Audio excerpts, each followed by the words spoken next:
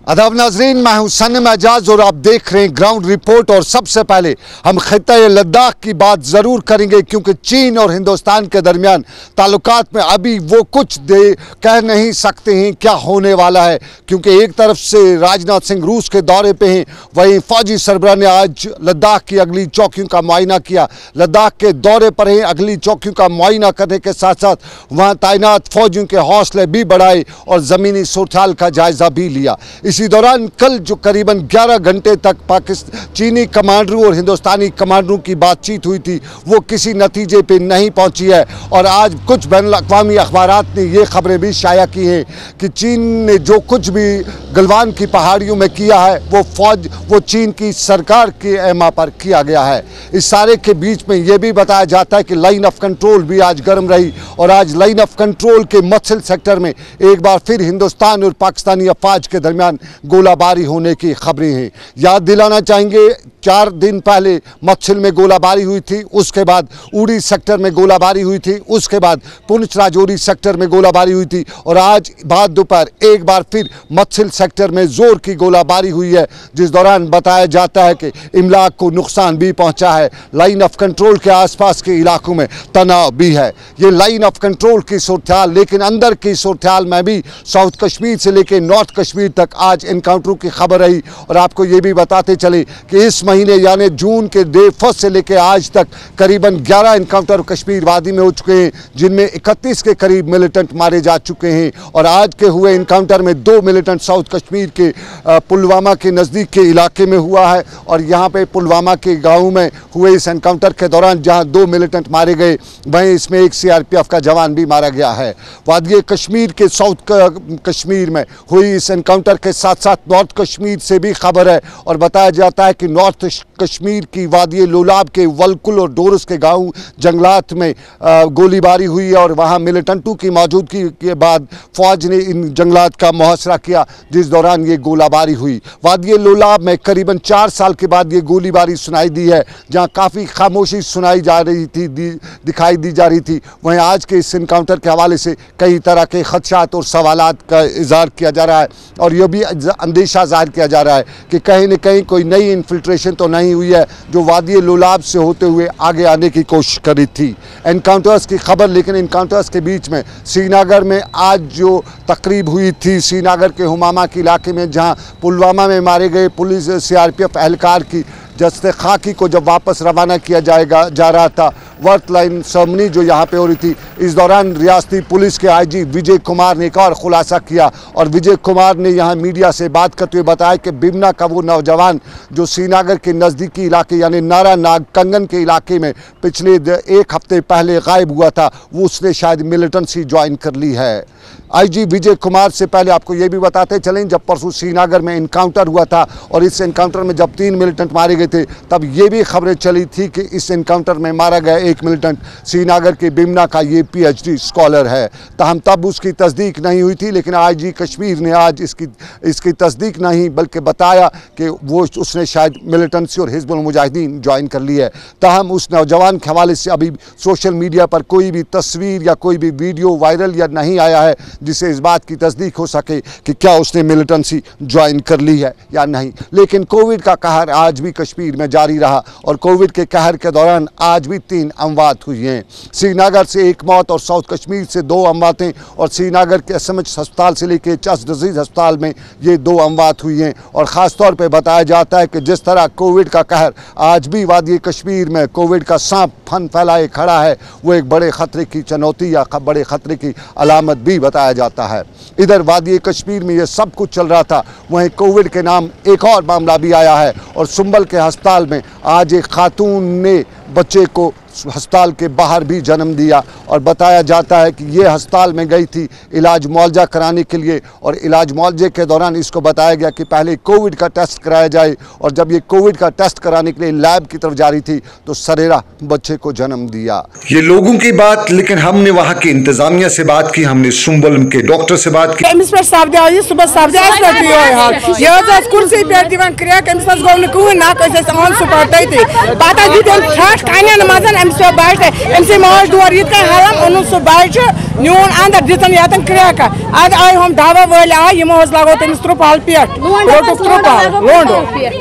ये पेशेंट आज मॉर्निंग में आई है बिफोर टेन मेरी जूनियर डॉक्टर जो है ना उसने उसको देखा था जब उसने देखा था उसको she was in early labour इसका बीपी जो है ना वो था बहुत हाई 170 सेवेंटी बाई हंड्रेड था और जो पेशेंट थी ना ग्रेवड ऑफ़ फोर थी इसका एक ही लायो बेबी था इसका पहला आई हो गया था विद रिज़ल्ट ये जो पेशेंट था इसका जो बेबी है प्रेशर प्रेगनेंसी था। जब मैंने ये पेशेंट देखा ऊपर तो पेशेंट का जो डिलीवरी डेट था date was on twenty seven of the July date mean she was premature और जब मैंने इसको परवेजनल एग्जामिनेशन किया तो वो she was in labour but there was meconium plus plus. Ideally, in view of prematurity and fetal distress, this patient needed referral. But I had no screening this COVID at this moment, so I advised urgent COVID screening, and I decided and I explained it fetal district to the attendant, and I decided to deliver the patient normally here. My instructions how to augment the labor, and I decided to deliver the patient. Center ये जो है ना ये हमारे hospital premises में है, within the hospital है. It is not outside the hospital. It is inside the gate of our hospital. And this patient has delivered in presence of my senior sister, Sister Rukaya. Sumbal के इलाके में अस्पताल के बाहर एक खातून ने बच्चे को जन्म दिया। यहाँ मुकामी लोग इल्ज़ाम लगा रहे थे कि डॉक्टरों की गफलत शारी है। ट्रीटमेंट करने के बजाय उसके लिए टेस्ट को भेजा गया। लेकिन यहाँ हमने डॉक्टरों से जब बात की तो उन्होंने कहा कि आठवां महीने था। एक्सपेक्टेड डिलीवरी नहीं थी और ये रूटीन का चेकअप था और रूटीन के चेकअप के दौरान ही उसकी डिलीवरी हुई है। ये एक पहलू ज़िंदगी का, लेकिन कोविड के नाम बहुत कुछ हमारे यहाँ जमा किया जाता है। और कोविड के नाम को बताते चलें कि कल जो चाडूरा के इलाके में पॉजिटिव केस आए, उसके बाद चाडूरा के इलाके को आज रेड जोन करार दिया गया था।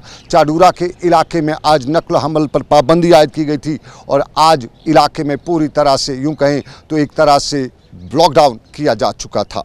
चाडूरा में लॉकडाउन था। लेकिन वादी लोलाब की बदकिस्मती ये भी है कि आज वहाँ पे इंतज़ामिया जागी थी करीबन 20 दिन बाद लॉकडाउन करने की।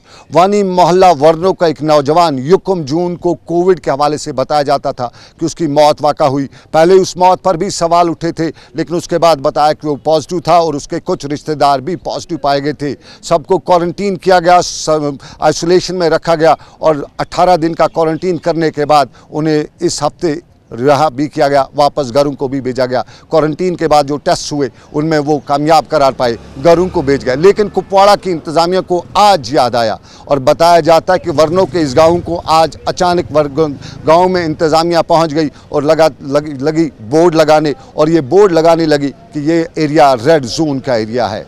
20 दिन बाद इंतज़ामिया कुपवाड़ा की को ये याद पड़ा कि यहाँ पे कभी कोई पॉजिटिव केस आया था और वो तब शायद रेड जोन करार देना भूल गए थे और यूँ आज वो वहाँ पहुँचे थे रेड जोन करने इलाके को डेंजर बताने, ख़तरे की घंटी बताने। वो तब की बात है। एक बीस दिन पहले हुआ था, लेकिन 20 दिन के बाद इंतज़ामिया जागी और मुकामी लोग हमें वहाँ से ये बार बार बता रहे थे कि आखिर उनकी ख़ता क्या है? इंतज़ामिया देर से जागी तो कसूर उनका क्या? अब तो सब इलाका साफ़ है, कोई पॉजिटिव नहीं है। आज क्यों रेड जोन? और आपको ये भी बताते चलें कि वर्नों के साथ साथ कुपवाड़ा के तीन और गाँव को भी आज रेड जोन करार दिया गया है। ये रेड जोन की बात इंतज़ामिया बार देर से जागी है। इंतज़ामिया को पता नहीं है कुपवाड़ा की को कि कब क्या करना है। हमने कुपवाड़ा के डीसी अंशुल गर्ग से बड़ी कोशिश की थी कि हम उनसे रबता कायम करें। उनसे पूछे कि इंतज़ामिया सोई हुई थी या कोई नया केस है। बार बार वहाँ के लोग ये बात बताना, पहुँचाना चाहते थे, लेकिन साफ़ ज़ाहिर है, अंशुल गर्ग शायद बहुत बिज़ी थे। हमारे एसएमएस हमारे व्हाट्सअप मैसेज और हमारे फ़ोन का कोई रिस्पांस वहाँ से नहीं मिला।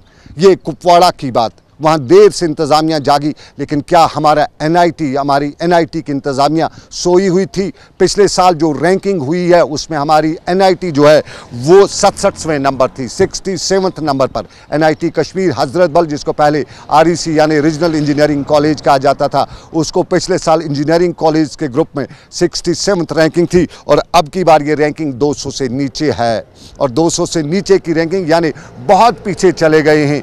बहुत देर हो चुकी है और अब की बार ऐसा ही कहा जाता है कि अब इस रैंकिंग के बाद क्या होगा। साफ़ ज़ाहिर है, मरकज़ी सरकार की जो माली मावनत इस इंस्टीट्यूशन को मिलती थी, वो भी कम होगी एड भी कम होगा लोन भी शायद ख़त्म हो सकता है। और यूँ समझिए, जब सब कुछ नहीं होगा तो हमारी एन आई टी हमारे आर जो सबका आर था, उसकी हालत किसी दूर दराज गाँव के किसी फटे हुए प्राइमरी स्कूल के बन जा सकती है, अगर ये सब कुछ हुआ। और इसके लिए ज़िम्मेदार कौन? वो इंतज़ामिया श्रीनगर की एन आई टी की इंतज़ामिया मीटिंग्स करेगी, लेकिन अब तक नहीं किया। अब पछताए क्या हो जब चिड़िया चुग गई हूँ खेत खेत नंबर आ चुका है 200 से नीचे हमें। और 200 से नीचे के नंबर के साथ साथ आपको नाजरीन बताएँ कि हमारे यहाँ और भी मुद्दे हैं, और भी मामला थे आपको याद होगा, हमारे यहाँ पावर प्रोजेक्ट्स की कभी बात की जाती थी। तब हमारी सियासी जमातें थी, वो कहती थी कि पावर प्रोजेक्ट्स को वापस लिया जाएगा। एनएचपीसी हमारा बहुत कुछ, तब इल्ज़ाम लगाया जाता था। लूट रही है। हमारी ऊडी में तीन पावर प्रोजेक्ट थे मोरा का पावर प्रोजेक्ट भी है, हमारी उड़ी, फ़र्स्ट और उड़ी सेकंड भी है। वहाँ से बड़ी सरकार को आमदनी होती है और एनएचपीसी को ख़ास तौर पर आमदनी होती है। लेकिन वहाँ के लोगों के लिए क्या कर रही है, ये हमने जानने की कोशिश की, क्योंकि हमें जानने के लिए इसलिए मजबूर होना पड़ा कि इस सनीचर को हम उड़ी के इलाके में थे तो हमें तब मालूम वहाँ पर हुआ कि जैसे ही उन्हें मालूम हुआ एन एच पी सी के अहदेदारों को कि कोई जर्नलिस्ट यहाँ पे आया है तो बड़ी आवभगत करने लगे जर्नलिस्ट की। हम हमारे कान भी खटके कि कोई वजह है जो इतनी आवभगत कर रही है, और उसी आवभगत के दौरान हमने जो कुछ भी मालूम किया, वहाँ के लोगों से पूछा, आप तक पहुँचाते हैं। जो मेन इस टाइम आपका उड़ी फ़र्स्ट और उड़ी सेकंड जो है उड़ी फ़र्स्ट और उड़ी सेकंड को दोनों को मिला के आपका कोई 18.57 18.57 मिलियन यूनिट्स जो होते हैं पर डे वहाँ जनरेट होते हैं। और आप खुद अंदाज़ा लगाइए उसकी कॉस्ट क्या बनती है। इंडियन गवर्नमेंट की एक पॉलिसी है हाइड्रो पॉलिसी 2008 में ये पॉलिसी आई थी। उस पॉलिसी के तहत जे एंड के के जो लोकल रेजिडेंट्स हैं उनको एलएडीएफ के तहत फंड्स जो है दो percent local area development local area development fund का जो था दो परसेंट जो है लोकल एरिया में वहाँ पे उनको ये डेवलपमेंट कामों के लिए लगाना था। उसका कहीं कुछ नामो निशान नहीं आज तक। इस तरह जो आपका डेली वेजर्स है वहाँ पे। पिछले पंद्रह सालों से ये डेली वेजर वहाँ काम कर रहे हैं। उड़ी प्रोजेक्ट में। उड़ी प्रोजेक्ट उड़ी फ़र्स्ट और उड़ी सेकंड में। इनकी तादाद कुछ साढ़े चार सौ है। जिनकी ज़मीनें गई हुई हैं और वहाँ लोकल रहने वाले हैं पाँच किलोमीटर रेडियस के अंदर जो लोग इन्होंने लगाए हुए हैं। आज तक उनको परमानेंट नहीं किया गया। मुख्तसर से तनख्वाह दी जाती है उनको कुछ आठ हज़ार दस हज़ार के करीब ऐसे ही करके। मतलब जैसे वो भीख मांग रहे बेचारे वैसे करके उनके बच्चे वो खुद एक मतलब भूखामरी की शिकार हो गए बेचारे। पिछले पंद्रह सालों से वो डिमांड कर रहे हैं सेंट्रल गवर्नमेंट के पास जाते हैं स्टेट गवर्नमेंट के पास आए हमारा इसको रेगुलाइज किया जाए आज तक वो नहीं हुआ। सी एस आर जो होता है लोकल सर्विस रेस्पॉन्सिबिलिटी होती है हर कंपनी की। जी जी। उसके तहत कुछ काम होता है वहाँ पे लोगों की कुछ डेवलपमेंट होती है वहाँ सी एस आर के तहत जो हमारे नाइन अफेक्टेड विलेज हुए हैं उड़ीसा सेकंड के उसमें आज तक मेरे ख्याल से कोई रुपया दस तीस लाख रुपए का इन्होंने काम किया है। इस साल का जो सी एस आर था वो लेफ़्ट हो गया। क्योंकि एनएचपीसी के पास उनके पास शायद स्टाफ नहीं था। तो जितने भी हल्का जात में लोगों ने ये आ, काम के लिए उनको रिकमेंड किया था सरपंच ने बाकी लोगों ने उन्होंने उस हिसाब में मतलब जो उनका अपना ये सर्वे करना था और एस्टिमेट्स वगैरह बनाने थे वो बनाए नहीं। तो आपका फाइनेंशियल ईयर चला गया और वो पैसा भी लैप्स हो गया। वो लोगों को मिल नहीं पाया वहाँ पे। लोगों ने ज़मीनें दी इस प्रोजेक्ट के लिए। क्या उनको मुआवजा मिला? उनके अभी मुआवजे की कई बार जो है वो शिकायतें वगैरह की देखिए, बीस परसेंट जो मुआवजा लोगों का है, आज भी वो बंद है। वो लोगों को नहीं मिला। रिहेबिलिटेशन के नाम लोगों को एक गैस बर्नर और एक चूल्हा दिया गया वो मतलब सिलेंडर और वो दो चीज़ें दी गई लोगों को, जो टोटली डिसलिकर्ड जो लोग हो गए, जिनको वहाँ से निकलना पड़ गया, जिनके मकान चले गए, बाकी चीज़ें चली गई, उनको भी रिहेबिलिटेट नहीं किया गया। रिहेबिलिटेशन के नाम पे लोगों के साथ धोखा किया गया उस टाइम में, उस टाइम के जो वहाँ के कंसर्न एमएलए थे, उन्होंने तोजह नहीं दी। छः महीने वहाँ पे स्ट्राइक रही और अपने जो एक्स एमएलए वहाँ पे थे ताज साहब, वो आए, उन्होंने वहाँ बड़े डोल धमाके से लोगों को कहा कि आपको जॉब मिल रही है। दो महीने के अंदर आपको जॉब एडवर्टाइजमेंट हो जाएगी। आज तक वो ना एडवर्टाइजमेंट हुई और सिक्सटी पोस्ट का हमने बोला जी हमने एडवर्टाइजमेंट की, लोगों से लिया गया। ये अपने फॉर्म वगैरह लोगों ने सबमिट किए। तब से आज तक वो कोर्ट में चला गया वो बात कोर्ट तक चली गई आज तक उन लोगों को इंसाफ नहीं मिला वो दर बदर भटक रहे हैं ऐसे ही। जिन लोगों की लैंड की वहाँ पे फाइव फोर्टी थ्री फैमिलीज़ की लैंड की हुई है। आज तक उनको किसी को भी जॉब नहीं मिली। ये एक सवाल जो है जब मीडिया वहाँ जाता है जब कोई बड़ा एम एल ए लीडर वीडर जाता है ये एनएचपीसी के लोग जो हैं बड़ी आवागत करते हैं। ये आवागत की वजह क्या होती है? ये मिली जुली इनकी सरकार है इनकी अंडरस्टैंडिंग है म्यूचुअल अंडरस्टैंडिंग है। जिस वजह से वो लोग उड़ी के लोग जो है इतने सालों से उनको जो हक जो है वो नहीं मिल रहा है। नहीं नहीं अवगत सपोज़ मैं वहाँ गया। सुना उन्होंने मीडिया वाला आ गया एनएचपीसी के लोगों ने। बड़ी अवगत की ये क्या रीजन होता है? क्यों अवगत इतनी होती है? गवर्नमेंट की कंपनी है इसका रीजन कुछ पता चला? ये रीजन यही है सर कि जो एक्चुअल कंडीशन आपकी साइट्स पे है जो लोगों के साथ वो कर रहे हैं बर्ताव वो चीज़ किसी न तरीके से बाहर ना आ जाए पब्लिकली बाहर ना चली जाए उस चीज़ को बचाने के लिए ये सब चीज़ की जाती है। उस टाइम पे कोई आ- आगे आके इनका मतलब कोई जनरेशन जब आपने कहा कि करीबन 20 लाख मिलियन होती है वहाँ से। ये प्रॉफिट यूजुअली कितना होता है दिन का अंदाज़ा कितना? देखिए सर इनका अगर दिन का इनकी इनकम करें तो सात से आठ करोड़ रुपया इनका डेली का ये है और ये बिजली बनती है पावर पे। पानी पे? पानी पी सॉरी बिल्कुल पानी है। पानी में इतना तो आपको पता ही है है। रॉयल्टी वगैरह जो हमारा है वो है नहीं कहीं। उसको वो दे नहीं रहे हैं। एल जो है दो परसेंट आपका शेयर होता है स्टेट गवर्नमेंट का, जो एनएचपीसी उनको इसमें से प्रॉफिट देती है, उसका दो परसेंट एनएचपीसी का दो परसेंट ये चार परसेंट मिला के लोकल एरिया डेवलपमेंट फंड जो है, इसका जो जितने भी डेवलपमेंट के काम होते हैं, वो आज तक इसका एक भी पैसा एनएचपीसी ने उड़ी में नहीं लगा। ये बात ऊड़ी की जहाँ से हमें बिजली पैदावार मिलती है, लेकिन बिजली की पैदावार का हाल अहवाल तो अच्छा कश्मीर में वैसे भी नहीं है, लेकिन वहाँ के मुकामी लोगों के लिए क्या हाल कर रखा है बिजली के महकमे ने? या यूँ कहें, एनएचपीसी ने वो अपनी जगह पे पानी के ज़खायर इस्तेमाल किए जाते हैं, पानी के ज़खायर से बिजली पैदा तो की जाती है, लेकिन उसके बाद वहाँ के लोकल लोगों के लिए जो सीएसआर है या जो लोकल डेवलपमेंट है, उसके लिए एनएचपीसी क्या करा है? ये मुकामी लोग नाला अब वहाँ पे कहते हैं कि कुछ नहीं हो रहा है। और आपको नाजरीन बताएँ कि हमारी सड़कों का हालत और इस सड़कों की हालत के दौरान हमें बहुत कुछ झेलना पड़ता है। एक मामला रावतपुरा टंगमर्ग में भी आज देखने को मिला। इलाके रावतपुरा में अचानक आग नमूदार हुई। दो मकान नज़र आतश हुए। कुंजर से फायर सर्विस की गाड़ी निकली, लेकिन सड़क की खस्ता हालत की वजह से गाड़ी फायर स्पॉट पर पहुँचने के बजाय सरे राही टूट गई और सरेराही बिखर के रह गई। ताहम बाद में दूसरे इलाके से फायर सर्विस की गाड़ी को बुलाया गया और उस दौरान गाड़ी वहाँ पे पहुँची, आग पे काबू पाया गया। लेकिन मुकामी लोग यही बताते थे कि अगर गाड़ी वक्त पे पहले पहुँच जाती तो इतना नुकसान नहीं होता। और मुकामी लोग यहाँ पे सरकार तक ये बात पहुंचाते हुए हमारे, हमें ज़रिया बना रहे थे। गुलजर वालों की गाड़ी आ गई, वो यहाँ पर चल नहीं, रोड की खस्ता हाली की उन्होंने बहाना बनाया कि रोड की खस्ता हाली की वजह से गाड़ी यहाँ पर आ नहीं सकी। रास्ते में ही पड़ी हुई है वो। फिर करीब करीब दो ढाई बजे एस एच ओ साहब टंगमरग एक गाड़ी लेके आया टंगमरग से। उसका हम शुक्रिया अदा करते हैं कि उसने बर वक्त कार्रवाई करके, लेकिन उस वक्त जब गाड़ी यहाँ पर पहुँची, मकान पूरा खाकिस्तर हो गया है। इसमें कुछ रहा नहीं, खिड़कियाँ, सब छत, वत, सब कुछ इसमें ख़त्म हो गया है। जो भी उनका घर में था, साजो सामान, वो सारा जल कर राख हो गया है। चाहे उसमें सोना था, कुछ नकदी था, ये मजूर बाब लोग हैं, उन्होंने जो भी कुछ कमाया है, सब इसी मकान में था, सब जल कर राख हो गया है। लिहाजा हम डी साहब से गुजारिश करते हैं कि अगर वो बर करम तहसीलदार टंगबर को साइड पर भेजे और यहाँ पर एस एस डी एम साहब को यहाँ पर भेजे और उनके फैमिली का कुछ गुजारा हो जाए, उनको नकदी मदद करे कुछ माली मामनत करे ये टंगमर्ग की बात वक्त पर फायर सर्विस की गाड़ी पहुँच नहीं सकी। वक्त पर पानी नहीं पहुँचाया जा सका और यूँ आग लगी और आग से नुकसान हुआ। लेकिन सोपोर के लोग भी पानी की परेशानी को परेशान हैं और पानी की परेशानी को लेकर सोपोर के लोग कहते हैं कि इलाके में पानी नहीं है। श्रीनगर में भी, कई इलाकों में ऐसा कहा जाता है। बटमालू में भी कहा जाता है। लाल बाज़ार में भी कहा जाता है और लाल बाज़ार से लेकर कई और इलाकों से हमें लगातार लोग बता रहे हैं कि पानी नहीं है। लेकिन सोपोर के लोग सरापा एहतजाज हैं। बताते हैं कि पानी उस सोपोर में जहाँ दुनिया की एशिया की सबसे बड़ी मीठे पानी की झील झील वोलर भी है उस इलाके में भी पानी नहीं है। तो साफ़ ज़ाहिर है पानी के ज़खायर तो हैं लेकिन उन ज़खायर को पानी के लिए इस्तेमाल नहीं किया जा रहा है। आ, हमारे गाँव का नाम है पंजीपुरा। पिछले एक महीने से हम पानी की एक एक बूंद के लिए तरस रहे हैं। इतना गंदा पानी पी रहे हैं हम कि अगर कोरोना बीमारी इस वक्त चल रही है उससे ज़्यादा खतरनाक जो पानी हम पी रहे हैं उससे वो ज़्यादा खतरनाक है। इस सिलसिले में जब मैंने चीफ इंजीनियर साहब से बात की, उनने कहा कि ये मेरा पर्सनल फ़ोन है, इस पे आप फ़ोन मत किया करो।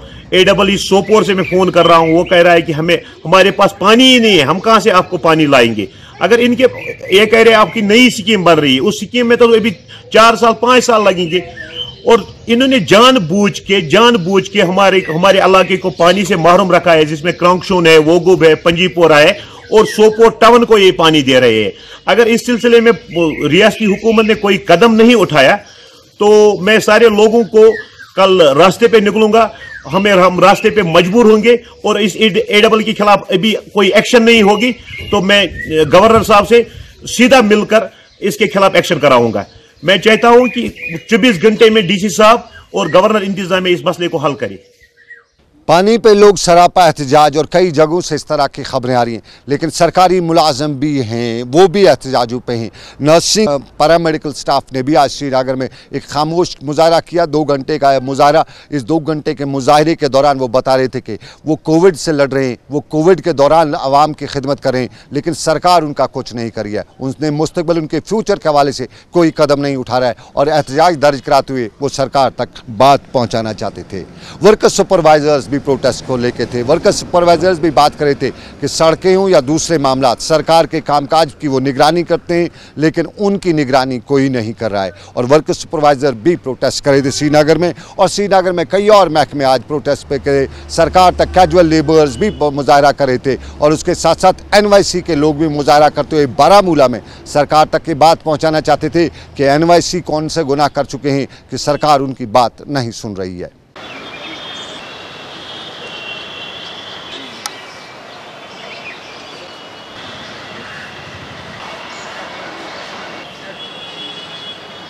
2010 से लेकर आज तक। 2010 में जब हम अपॉइंट हुए तो हमारी सैरी सिर्फ़ पच्चीस सौ थी और आज भी हमारी सैरी सर वही पच्चीस सौ है। तो सर, भला आप मुझे बताएँ कि इन पच्चीस सौ पर हम कैसे गुजारा कर सकते हैं? कैसे हम अपनी ज़िंदगी बसर कर सकते हैं? हम अपनी ज़िंदगी बसर करें, अपनी फैमिलीज़ की ज़िंदगी बसर कराएँ? या सर हमारी इस वक्त जो पोजीशन है मेजॉरिटी ऑफ़ एन जो है, वो सर मैरिड है। Majority of the N R post graduates M eds M phils even P H D scholars हम हम ये डिमांड कर रहे हैं एल जी इंतज़ामिया से कि खुदा रहा आपने जो हमारे लिए एक कमेटी तश्कील दी है, जिसमें हम ये मांगते हैं कि regularisation of NYCs with pattern change and salary and salary hike